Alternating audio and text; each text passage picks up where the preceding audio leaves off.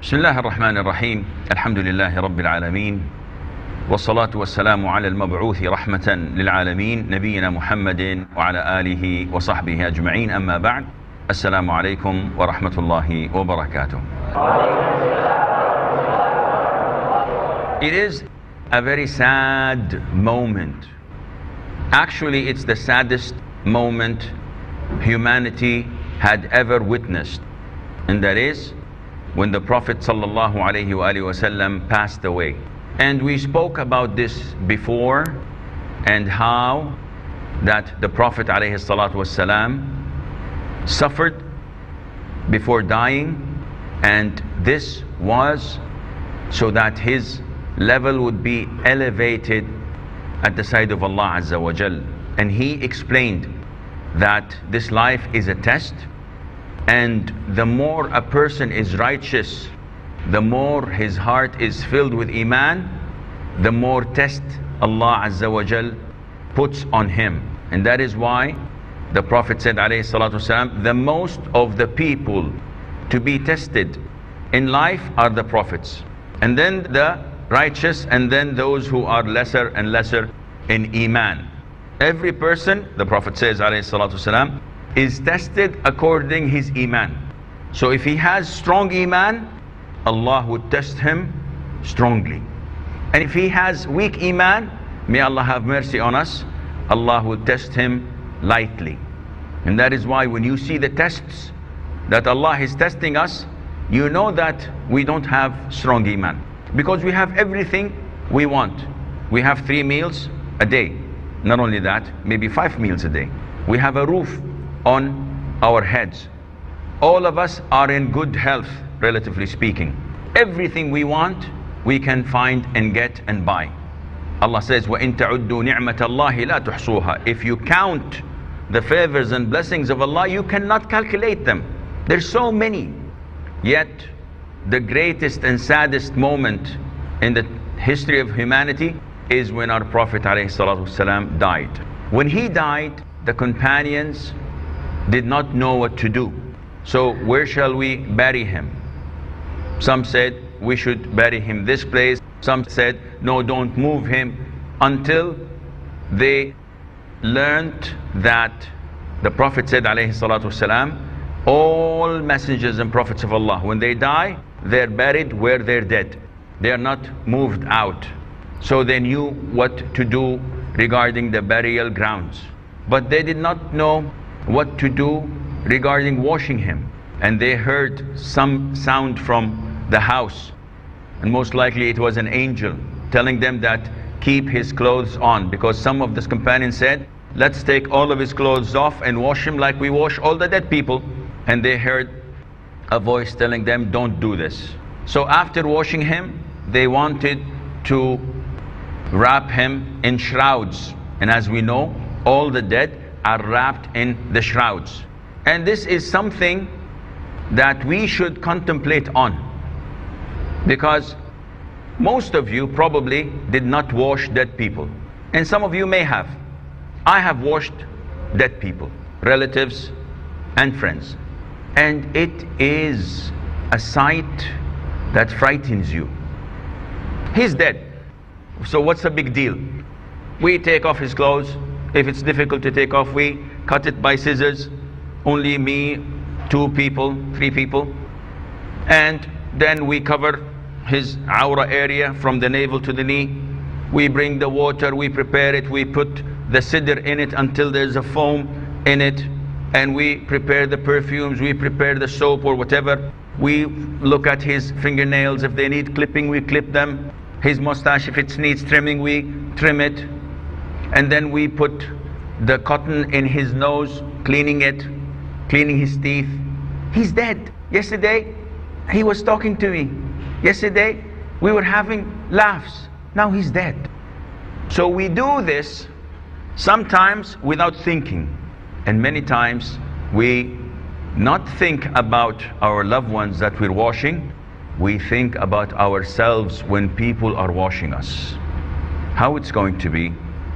If I were lying on this wooden bed and people are washing me, how much would I pay to go back to life so that I can repent to Allah? How much would I give from my fortune, from anything that I have, so that Allah would give me the chance to pray two rak'ahs on time? We have a lot of sins. Yet we always have shaitan at the back of our heads telling us, it's okay, it's okay. Take your time. You still have long to live. How old are you? 60? Oh, you have 30 years to go. I know a neighbor of mine who's 90 years old. And if you go to the man who's 90 years old and ask him, when are you going to die, grandpa? He says, ah, I've heard of someone in the north of the country who reached 110. So inshallah, 110.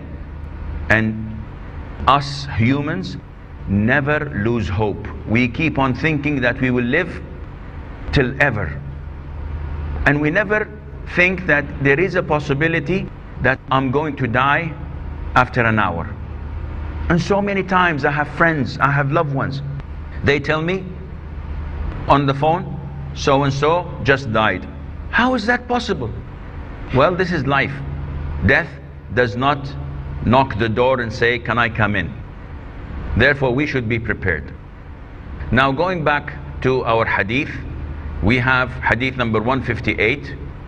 The hadith was narrated by Aisha, may Allah be pleased with her. She said that the Prophet of Allah wasallam was shrouded in three cotton garments of white Yemeni stuff from Sahul, among which was neither a shirt nor a turban. So the scholars said from this hadith that the ideal and the best way of shrouding a dead person is in three pieces of cloth and it is highly recommended that it is white. Because the prophet ﷺ praised the color white by saying that wear it when you're alive and shroud your dead when they die.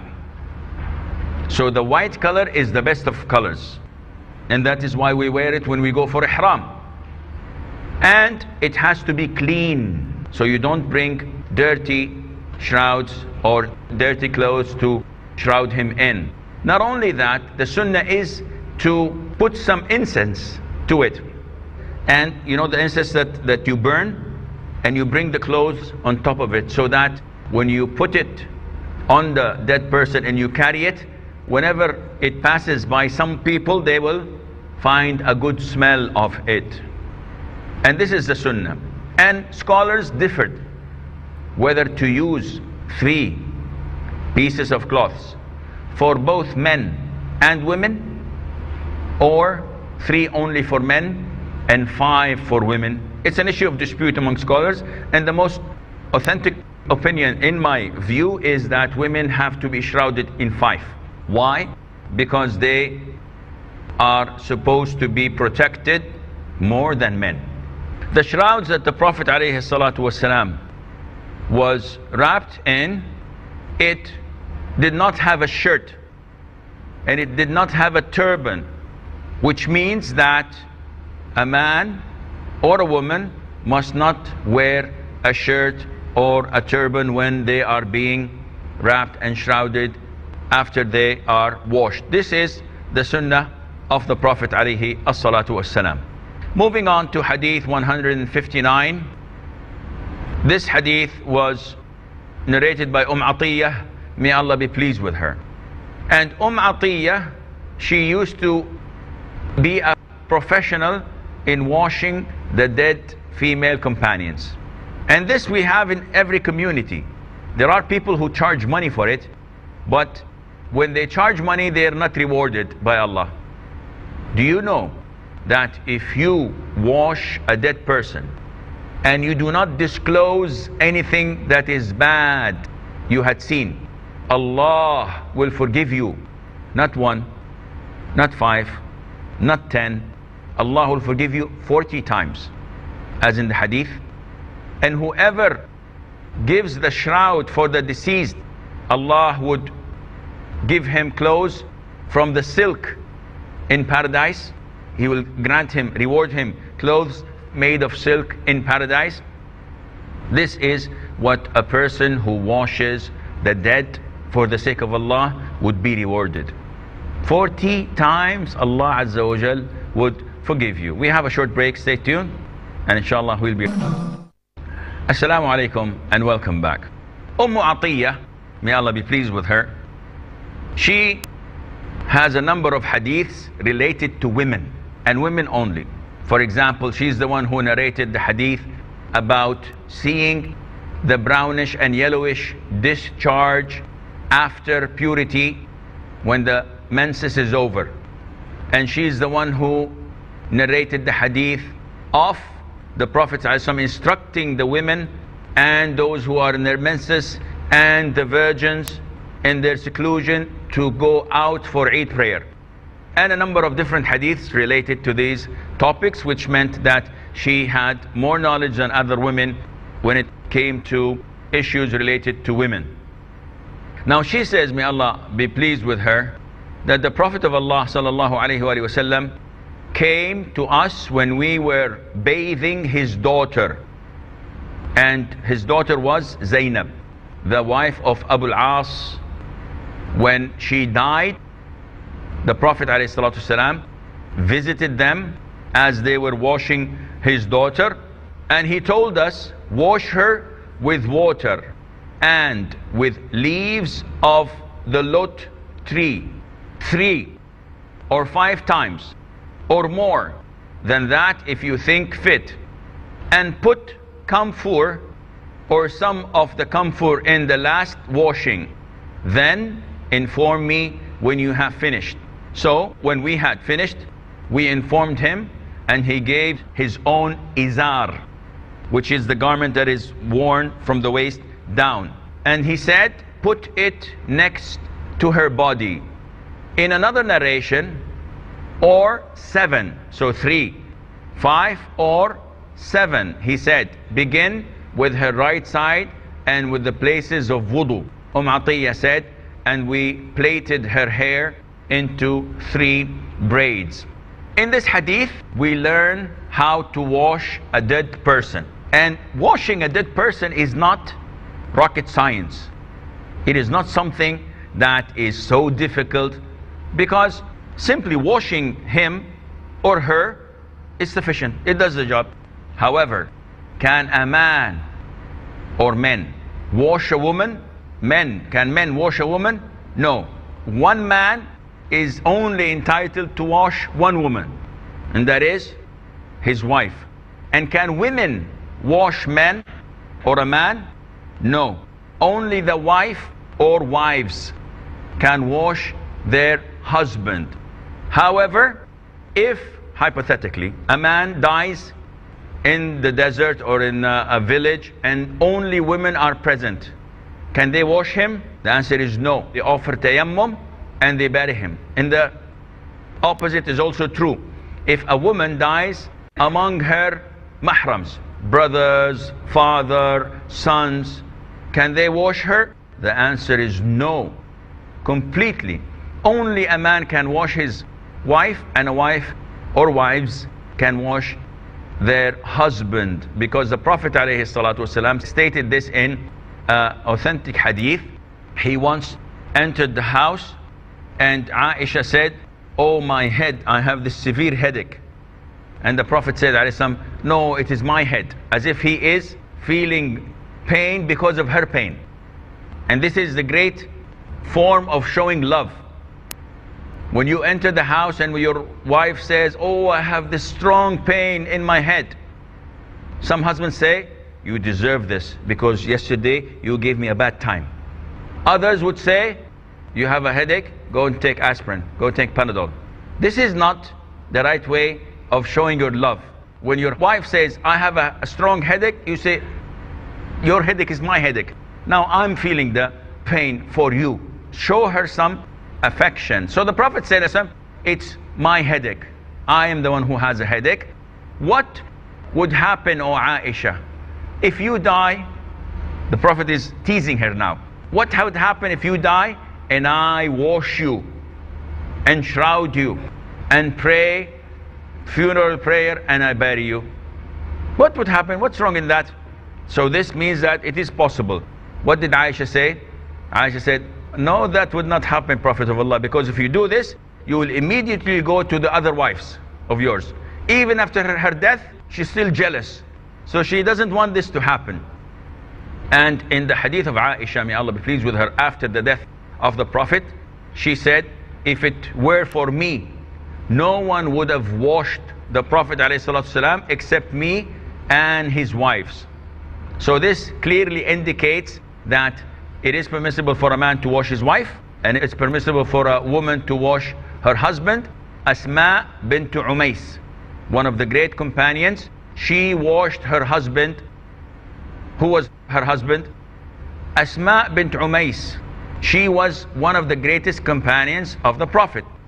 First, she was married to Ja'far ibn Abi Talib. Who is Ja'far? The brother of Ali. Huh? And the cousin of the Prophet ﷺ. After he was martyred in the battle of Mu'tah, she married Abu Bakr as-Siddiq. And she had from him a son. And after Abu Bakr died, she washed him. And this is why I brought her name.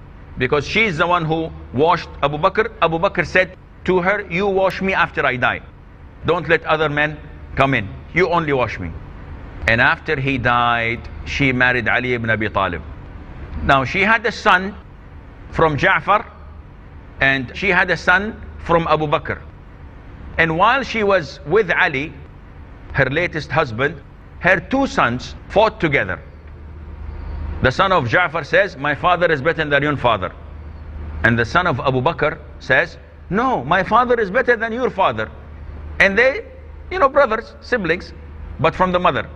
They started to fight. So Ali was there and he said, you be the judge between them and tell them whose father is best. So she said to the son of Ja'far, your father is the best of the youth because he died young. And she said to the son of Abu Bakr, your father is the best of the elders because he was in his 60s or so. Now Ali is the third husband and he said, Asma, what did you leave for me? If he's the best of the youth and he's the best of the elders, what's left for me? So with all the diplomacy in the world, she said to him, Ali, three, Ja'far, Abu Bakr and you. Three, you are considered to be the worst of them. Wallahi, this is an achievement. If these are the three and you're the third and you're the worst of them, this is an achievement. Ali smiled and he appreciated that and he said to her, By Allah, if you had said anything else, I would have hated you and resented you. Because then you would be lying. If you said, No, no, I did not mean this, not Ja'far is better than you, or Abu Bakr is better than you. If you said anything, I would have hated you and resented you. But you've said the truth. She washed Abu Bakr. Now, we have schools of thought that claim once a woman is widowed, she is a complete stranger to her husband. Once a man dies, these are some of the schools of thought without naming them. They say that the minute the man dies, the wife becomes a stranger. Why? They say because the marriage contract has been nullified. Khalas, it's over. He's dead. He's not a husband anymore.